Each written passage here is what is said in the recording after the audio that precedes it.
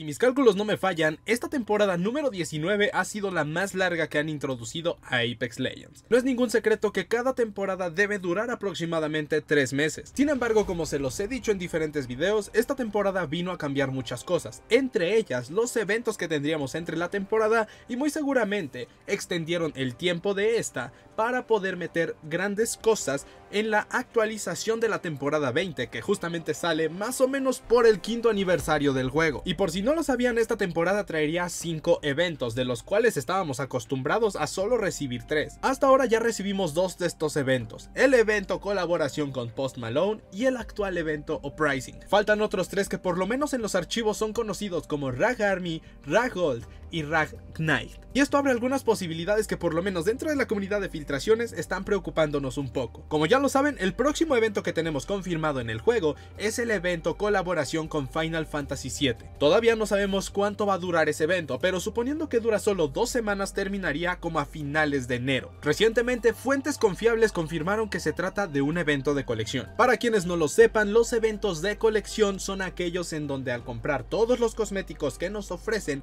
nos deben regalar un objeto mítico, ya sea una reliquia o un aspecto prestigio. A partir de aquí han salido diferentes filtraciones, opiniones, incluso rumores. De momento, como ya se los he dicho, nada está 100% confirmado, aunque se haya filtrado de una fuente completamente confiable. Ahora mismo se está hablando de la posibilidad de que el 9 de enero tengamos dos diferentes eventos, es decir, el evento colaboración con Final Fantasy, el cual solo será un evento de tienda y obviamente va a traer cosas para el gameplay, tal vez un modo de juego, cosas gratis y recompensas como en el evento de Post Malone, y aparte un evento de colección para desbloquear la reliquia de Newcastle. Personas como Tordan Smash han hablado sobre esta posibilidad, así que yo les recomiendo que no se hagan muchas ilusiones. Y si es que esto llega a ser lo oficial, la espada de Final Fantasy no sería la reliquia de Newcastle. Supuestamente va a ser una espada de piloto, pero honestamente yo les puedo sacar muchas conclusiones del cómo podría ser, pero al final podría cambiar. Porque canónicamente sí existe una espada de piloto, pero no sé qué tan canon sea ese juego como para decir que es canónico. Bueno, tomando en cuenta esta información, también falta otro evento con el cual se supone debe llegar el recolor de reliquia para Bloodhound. Ese evento entonces debería de continuar después de la colaboración con Final Fantasy, que repito, no sabemos si va a venir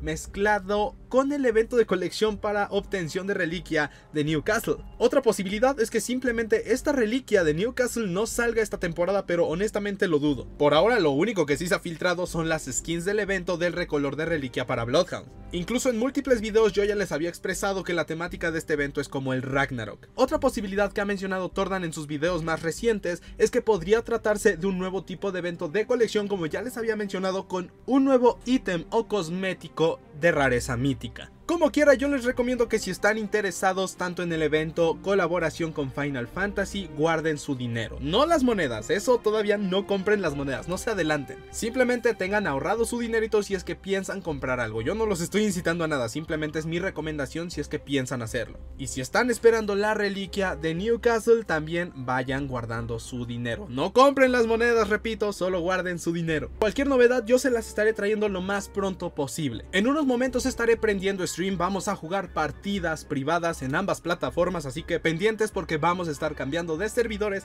para que entren los más que se pueda. Familia, de momento es todo por mi parte, espero que el video les haya gustado, les haya entretenido y más que nada les haya informado. Yo sin nada más que decir me despido, cuídense, los quiero. Y hasta la próxima.